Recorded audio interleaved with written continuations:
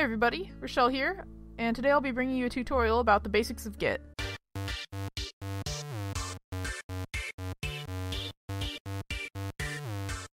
Hey everybody, what is going on? Today I'll be showing you how to download and install Git, create a repo, and commit, push, and pull from that repo. Alright, so to download Git, you're going to go to their website and click this download link that will download Git, and then you can just click the executable once it's done and follow the prompts. It's pretty straightforward, and after that, Git will be installed. So, the first thing you're going to want to do when you get Git is you're probably going to want to create a repository. You want to start a project, so you're going to need a repository to hold all your code. A repository is basically a directory or a folder that holds all your code that's going to be tracked by the Git version control software. So, to create a repo, we're going to use the command git init and then the file name.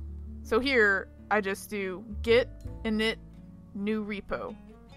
That'll make me a new repository called new repo that I can add code to.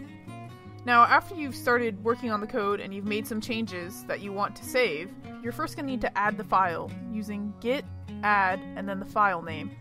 From there, you'll be able to commit your changes. You're going to commit those changes by using git commit dash A. The dash A tells Git to commit all of the changes that have been made during this session.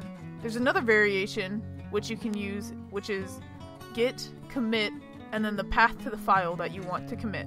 This will only commit the files that you specify. When you commit, you'll be prompted to give a commit message. This will be displayed to everyone who can see the repository and should explain what's going on in this commit so that people have some kind of context as to why the changes were made. After you've had a couple of commits, you're probably going to want to push. Pushing is saving all of the changes that you've made to your files to a remote server so that a lot of people can access them, whoever has access to the project, basically. So there's two variations for pushing that are used mainly, and those are git push, which pushes all of the branches that you have, and we'll cover branching in another video, or git push the remote name, which is origin usually, and then the branch name, which by default is master. So git push origin master will push only the master branch to origin. Once you run this command, it'll push up all your changes so that everyone will have access to them. Next, if you weren't the person who made those changes, you're going to want to pull them down so you can have the newest version of code. And to do that, you're going to use git pull. This will pull all the changes for this branch. You can also do something similar to pushing, which is git pull remote name branch name. In this case, it's going to be git pull origin master. This will only pull the changes from that branch. Sometimes git pull won't work, and that's because you need to actually set an upstream value, and it's pretty good about prompting you about what you need to type for that, but I'll leave that in the comments below. And one other helpful command that you can use that's not necessary but something that I like to use is called git diff.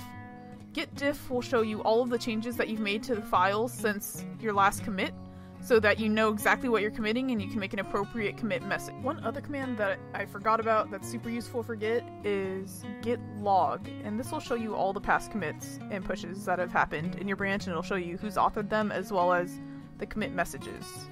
So that wraps up this week's video. If you thought this was helpful or want to see some more tutorial videos, please subscribe if you want to see some more Git videos, please like this. I do plan on making at least one more advanced Git techniques video where I'll be covering merging, branching, and forking, but besides that, I won't be covering much else. So if you guys do like these, please give us a like and leave me a comment. If you want to see some other tutorials, please don't be afraid to send me a message or leave it in the comments below. As always, thank you for watching, and I'll see you guys next time.